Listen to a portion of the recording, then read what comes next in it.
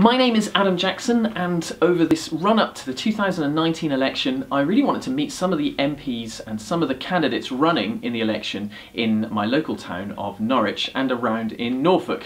Today I've got with me Catherine Rowett. Uh, Catherine's a bit special because not only are you the candidate for South for Norwich South, you're also a member of the European Parliament as well, right? That's right. Yes, I got elected in May for the Green Party uh, for the Eastern region. That's six counties um, around this, this area. So, um, so in a in a few lines, what is who are the Green Party?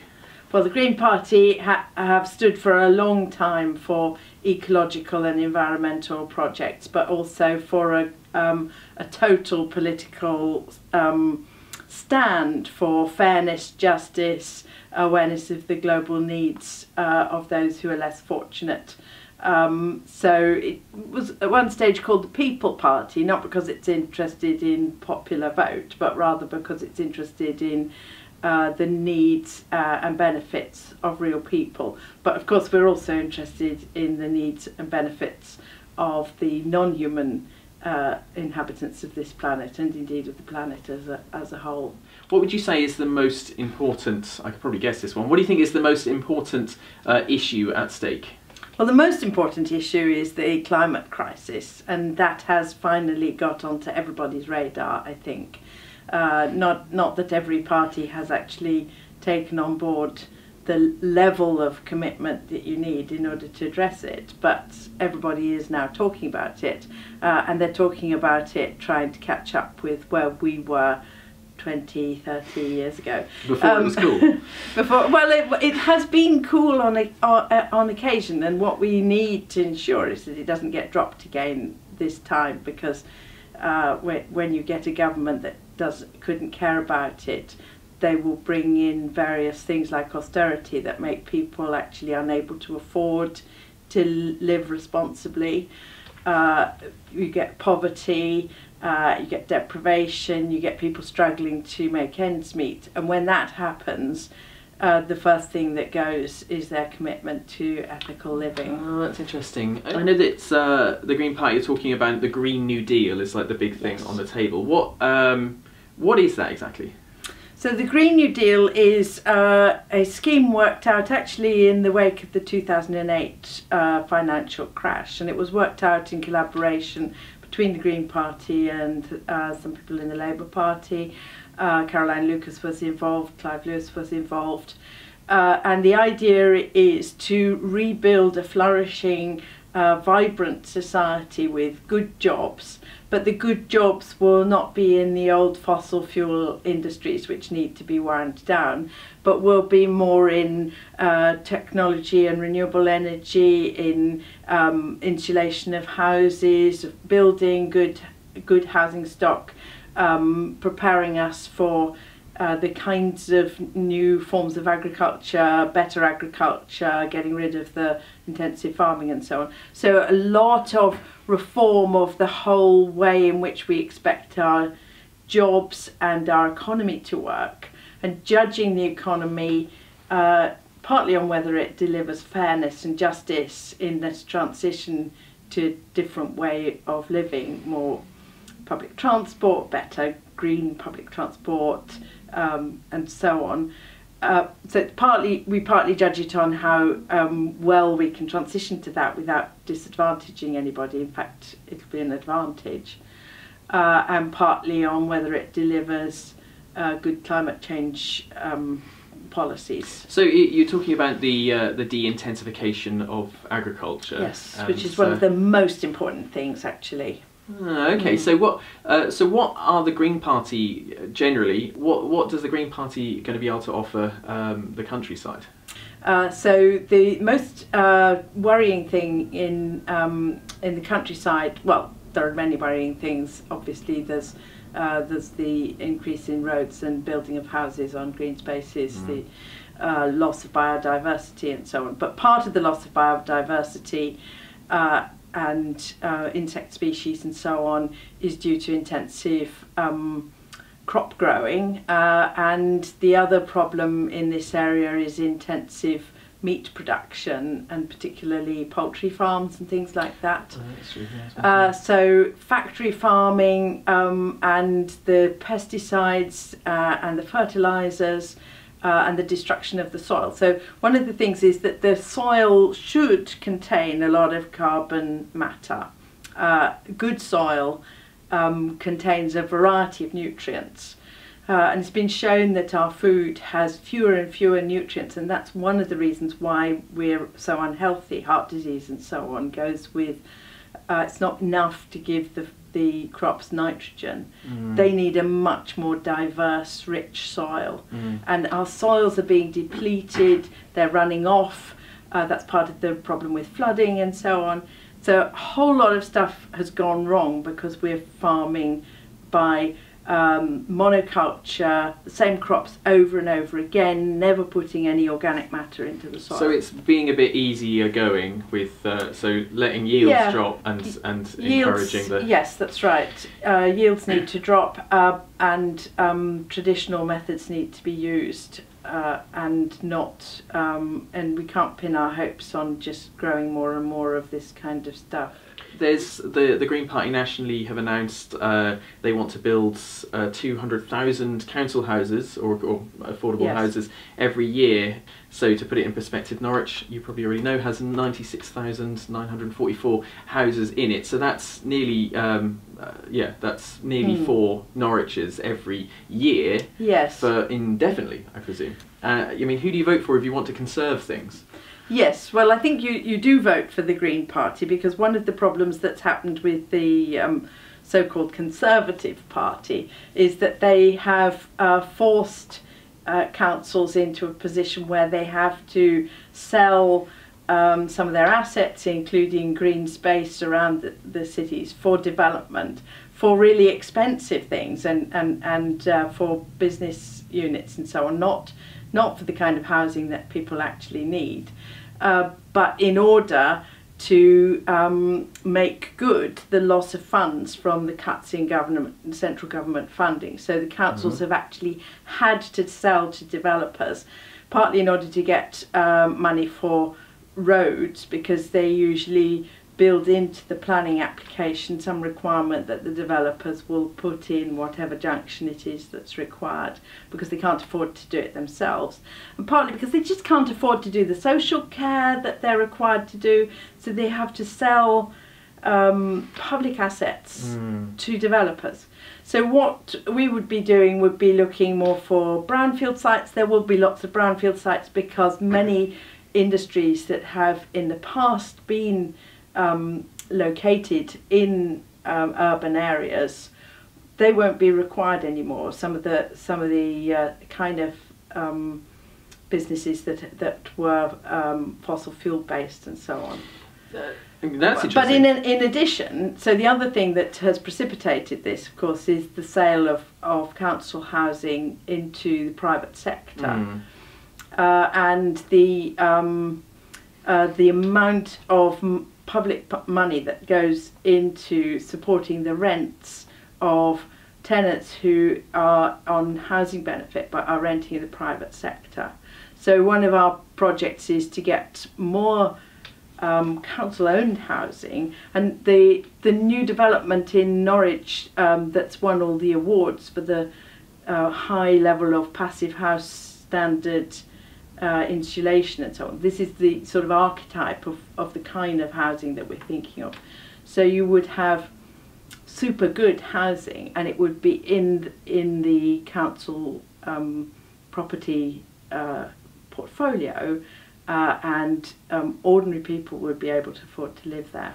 And that sounds great. But going back to four cities the size of Norwich every Mm, year, mm. and um, and talking about um, so talking about developing on on brownfield sites. I know that in the Yes. UK there are seven hundred thousand um, potential properties that can be developed to that are empty at the minute. Yes. And uh, but with that's only three and a half years worth, and, Mm, and many mm. many many of those are not. It's not viable to develop them up.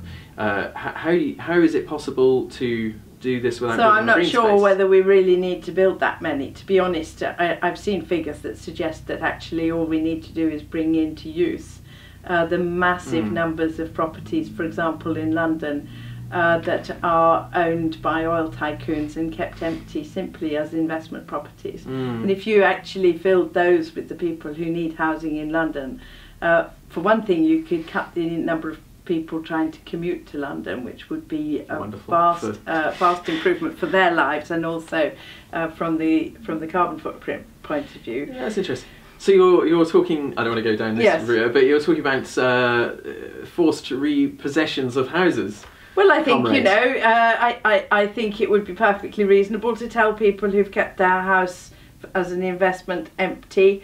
Uh, that if they are still not letting it out two years down the line, then some of the homeless people will be uh, put in it. Why not? Yeah, that's great. Yeah. you were just saying there about uh, about releasing some of the housing actually would be enough uh, to solve the housing crisis. Is that right? Well, so what what's the cause of the housing crisis? Um, I presume Uh, it's too many people, like uh, too much supply and not enough demand. Oh, too much demand. too much and not demand enough and not enough supply. Because Um, uh, there's an interesting point there, because uh, the Green Party are, um, uh, we'll come on to in a minute, the, the Mm. Humane Migration um, Yes. uh, treaty, which Yes. at the minute, which I presume under a Tory government, I imagine the Greens would have a, a more open door policy towards migration. And uh, and at the minute, we're talking about um, 300,000 net contribution, Mm. which then is uh, two or three times every year a Mm. city the size of Norwich.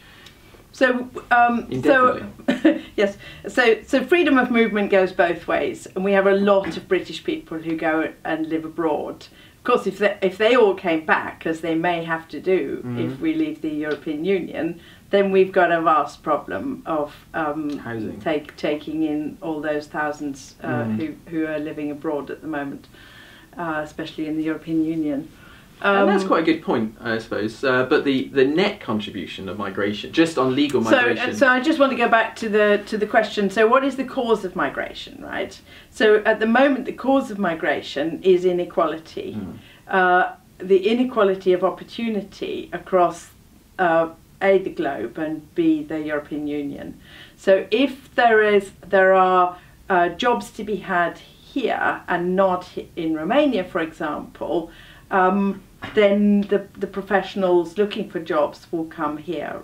So Mm. one one way to to um, solve that is what the EU needs to do, which is ensure that there's proper redistribution of wealth across the European Union. So uh, so the the UK has had this a really unhealthy attitude to the European Union, where it expects that it should get out from the European Union at least as much as it puts in in money. Mm. Well, the point of the EU is actually to enable us as a as a community of nations to try to deliver something where we raise the standards in all the nations of the EU to an equal level of prosperity so that we become a level playing field where everybody is as well off as the others. So a really wealthy nation like ours should be gladly contributing uh, more like a taxpayer. A glad and willing taxpayer is glad to help the NHS so that the poorer people who are, are sick get a chance uh, to be treated. Glad to contribute to the education so that ordinary poor children who couldn't pay fees can have an education. So you pay your uh, taxes to enable uh, those people to have a good life. And so also the EU needs to ensure that the um, the opportunities and the development and the wages and so on are just as good in Eastern Europe as they are in uh, in Western, yeah. Western Europe, uh, just as good in the in the Mediterranean countries as here. And then the the only reason for people to move in one direction or another wouldn't be weather. desperation. Yeah, and then we'd all we'd all go to. Spain, right? um, uh, so so that's one of the reasons for uh, internal migration. The other, of course, is that we haven't been training our own people to do the professional jobs like nurses and so on. We've been uh, helping ourselves to ready trained Mm. doctors and nurses uh, paid for by other countries, and that's another aspect of our feeding like a parasite Mm. on the European Union. And now people say, oh, well, how will we exist if we don't have farm workers and we don't have nurses Mm. from the EU. Well, how, Yes. maybe there was something slightly wrong with the way we were doing it before. Yes. yeah, absolutely. Yeah, that sounds like that's a that is a beautiful vision for uh, for the European Union. I, I suppose Hmm. I can kind of picture uh, certain people being like, well. I don't. I don't feel wealthy myself to be able to do this. Though I know the country, you know, the GDP is technically higher. Mm. Like, but if you're struggling to, to feed your family and you got uh, and you're on Yeah, yeah, uh, yeah. No, we're not income- talking about ordinary people. I mean, you, we pay a, a pittance. Each each of us pays a very, very little to Mm. be for all the privileges that go with being in the European Union, all the free healthcare when we travel, uh, all the opportunities for getting jobs, uh, studying uh, for free in all the countries of, of Europe, and we and we pay something like a cup of coffee a week or something. Uh, but um, uh, but in any case, it's not evenly spread the cost, and it's not Mhm. like it's going to fall upon uh, the the uh, the the people at the lower ranks of society. This is what I'm talking about is the bankers who are earning billions, right? Billionaires. We've got billionaires in this country. So what's the Green Party spending uh, looking like for the NHS? Because it looks like everyone's wanting to spend a lot of money on everything, particularly the NHS. Where where are you guys at? Yes, yes. Obviously, we want to spend a lot on the NHS. Uh, I forget the figures exactly, but I think it's sort of seven billion or something like that. I Um, think it is seven billion. yes. Which is interesting because the Conservative Party, who you'd think would be more um, small government, are have already pledged 6.2 billion, I think, this year, and uh, uh, with a, a pledge of something like 30. Um, Yes. Yeah. Yeah. Add on. I mean, And Labour even more. Is that right? I thought Labour were a bit. Well, anyway, um, I haven't got the manifest, Yeah, manifesto in front of me. Uh, but um, here are some of the things uh, that we need to, to do for the NHS. We need to bring it back into public hands.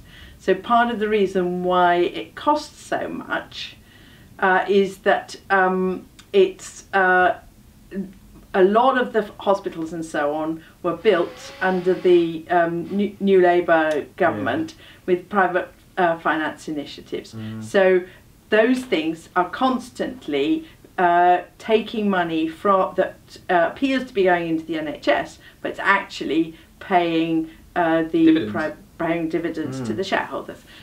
Um, so I'm pretty sure our, our um, contribution is higher because the, the the Conservatives have said something which they say it's the biggest, but it's absolutely not the biggest contribution to the, to the NHS. That they're claiming it's bigger than ever before, but it's it's piffling compared with with what Labour and the Greens are, are. Yeah, I see. I, I think Labour's uh, policy on this were just like whatever they're going to spend, we're going to spend more. I'm presuming a couple of other just quick uh, things. I'm presuming that you're uh, against the expansion of Norwich and probably uh, Heathrow airports. Yes. And um, how do you feel about running against uh, Clive in this area? Because I would have thought Clive Lewis, of all people, would be would have a lot of stuff in alignment with the Green Party, especially with the Green New Deal with Caroline together. Yes. Um, why why bother? Uh, why bother? Well, um, there are a number of reasons. Uh, one is that um, uh, I think Clive's a, a great thing, uh, but he belongs to the wrong party, uh, and some of the things that his party stands for, he, he shouldn't stand for and can't stand for. Uh, so what like? um, so nuclear weapons, uh, nuclear um, electricity. Uh, they're pretty dodgy on expansion of airports. So there are things that uh, there are some people who wouldn't be able to vote for that, and those people will not vote for him, and they should have the choice of voting uh, Green. Green came top in Norwich in the European elections. Mm. So when uh, Norwich people are asked straightforwardly in a proportional system what they would like, they would like Green. So it would be absolutely nonsense not to give them a highly respected uh, in, individual to. I say that myself, um, but you know they they they need somebody uh, who will represent the the position that they Mhm. stand for in public during the debates in the um, uh, in the run up to the election, so that somebody is actually showing that the Green Party is as good or better than what they're offered by Mm. Clive. Um, Okay. and, and the third thing is that uh, were people to be unwilling to vote um, Labour uh, and pro Europe, then they shouldn't have to vote Liberal Democrat in Norwich because in Norwich people tend to Mm. vote either Labour It or used to be the second target seat, didn't it? Norwich South were after Brighton and Uh, well, it has been very successful, yes, but since Clive, uh, because Clive is so green himself, Mm. uh, it's it's been um, not something that we would be aiming to, you know, get. it, it it's if we're going to have Labour, we would like Clive Lewis to be in there, right? You heard it here first. So, if you could speak directly to the electorate today, what would you say? I would say that this is the most important election, and that if we don't get it right this time, uh, things are going to be rather scary. But they're not scary yet, uh, and now is the moment to make sure that it all turns out all right. You've been watching Catherine Rowett uh, from the Green Party, uh, the candidate for South Norwich 2019, on Adam Asks Political Special.